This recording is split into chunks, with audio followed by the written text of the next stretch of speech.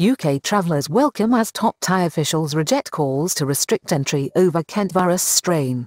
Security officials in Bangkok are more concerned right now with illegal migrants after the arrest of 19 unregistered aliens detected in the capital revealed that seven were carrying the COVID-19 infection. Security officials are calling on the public, particularly in outlying districts of the metropolis, to report anything suspicious the Ministry of Foreign Affairs in Bangkok has confirmed that UK travellers will not be singled out and denied certificates of entry into the kingdom after a family of four were discovered in quarantine infected with the Kent strain of the virus.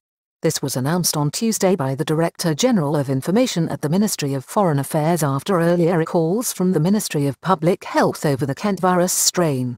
Meanwhile, officials and immigration police in Bangkok are tracking down illegal migrants and asking the public to report their suspicions.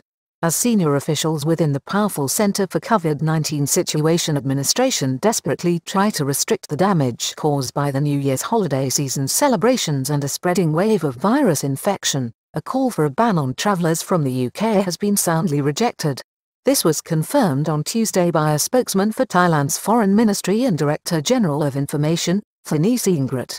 Ministry of Public Health had requested a ban. The response came after the Ministry of Public Health had requested the Center for COVID-19 Situation Administration to impose such a ban earlier in the week following the discovery of the new B117 or Kent strain among a family of four, two adults and two children from Kent, in the southeast region of the United Kingdom, who arrived in Thailand aboard a flight on the 28th of December 2020 the Public Health Ministry had called for certification of entry to be held back for those applying from the United Kingdom.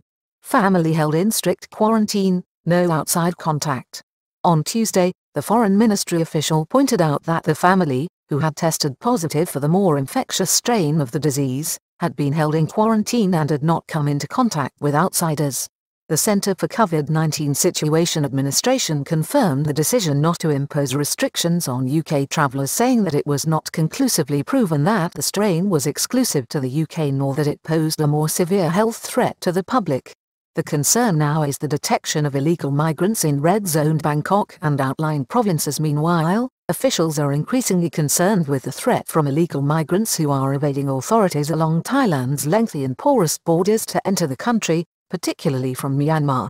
On Wednesday, the Bangkok Metropolitan Authority renewed its calls to the public to report any suspicions about illegal workers or traders in the Bangkok area. Bangkok and key surrounding provinces are currently red zones of high infection. Deputy Governor, Police Lieutenant General Sopan Phasuthiwong called on all locals in the metropolitan area, particularly in districts at the perimeter, to make known any suspicious activity online and through telephone hotlines. He revealed that a recent trawl had seen 19 illegal migrants arrested and that no less than seven of those had tested positive for the COVID-19 virus infection. Thanks to the tip-off from people, so far the authorities have arrested 19 illegal migrants and tested them, he said. Seven have tested positive for COVID-19, while 12 people remain in quarantine and are closely observed.